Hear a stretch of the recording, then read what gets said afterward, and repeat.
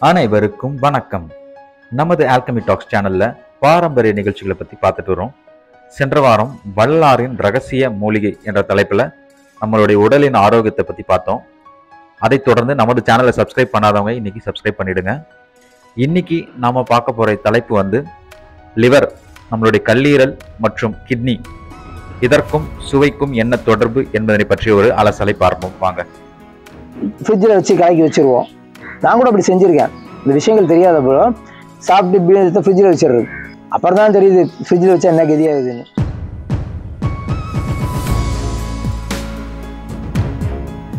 எந்த பொருள் ஃப்ரிட்ஜுக்குள்ள போயிட்டு வந்தாலும் அது டேமேஜ் பண்ற ஒரு முதல் உறுப்பு யாரு?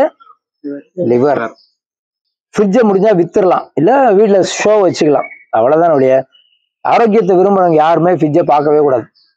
ஃப்ரிட்ஜை நீங்க எந்த அளவுக்கு தொடுறீங்களோ அந்த அளவுக்கு உங்க லிவர் டேமேஜ் ஆகும். லிவர் டேமேஜ் ஆனா கிட்னி டேமேஜ் ஆகும். இப்ப மீன் வந்து கெட்டு போச்சு என்ன பண்ணீங்க? கீழே போட மாட்டீங்க. எண்ணெயை போட்டு வறுத்துறீங்க கெட்டு போனதை. தெரியாத அளவுக்கு மீன் வீணாக கூடாதுல்ல அதில் நல்லா வறுத்து அந்த மீனை சாப்பிட்றோம். சரி நீங்கள் மீன் விவசாயி மீன் பிடிக்கிறதுல பெரிய ஆள். கருவாடை போட கருவாடு போட தெரியும் உங்களுக்கு. அப்போ என்ன பண்ணுவீங்க? கருவாடை போட்டுருவீங்க. கருவாடு எத்தனை மடங்கு உப்பு? பத்து மடங்கு உப்பு.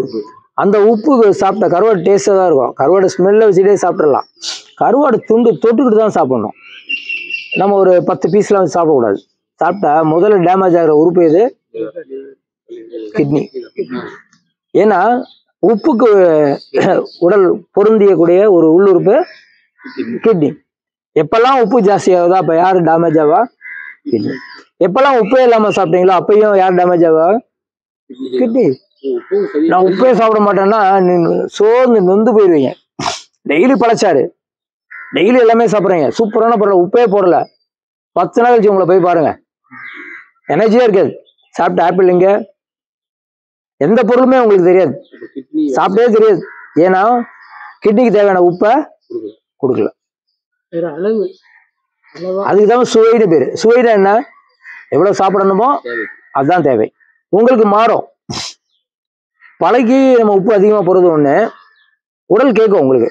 எனக்கு உப்பு கொஞ்சம் கொடுன்னு யார் கேட்பா கிட்னி கேட்கும் கிட்னி சொல்றது உப்பு கரிக்குது. உப்பு கரிக்குது. யார் சொல்றது? நாக்கு மூலமா கிட்னி சொல்லுது. புளிப்பு. புளிப்பு சாப்பிட்டா கண்ணு சுருங்க கூடாது.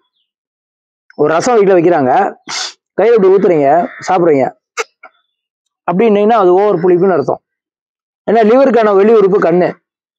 இது அதிகமான புளிப்பான உடனே அந்த கண்ணு என்ன சொல்லுது? "ஏ அப்பா அப்படி சொல்லுது. ஒரு பேட் ஸ்மெல் என்ன பண்ணுது? நம்ம முகம் எப்படி போகுது. அப்படியாது. ஒரு நல்ல ஸ்மெல் உங்க முகம் எப்படி மாறுது? முகம் மலர்ந்து நெஞ்சு விரிஞ்சு ஒரு மாற்றம் நடக்குதா? இப்படி. ஒரு சந்தன ஸ்மெல்லு அப்படின்னு அருவருப்பான ஸ்மெல் என்ன அது குனிஞ்சு மூஞ்சியை சுருக்கி திரும்பிக்கிட்டு இவ்வளவு நடக்கும். அப்போ புளிப்பு சுவை அதிகமா இருந்தா அது எதுல தெரியும்? கண் சுருங்கும். கண்ணு சுருங்கும். அப்ப அது அதிகமான புளிப்பு. உங்க கண்ணு சுருங்கலைன்னா இட்ஸ் ஓகே உங்க லிவர் அக்செப்ட் பண்ணிடுச்சுன்னு அர்த்தம். அதனால கண்ணு சுருங்காத புளிப்பு சாப்பிடணும். இதான் மெஷர்மெண்ட்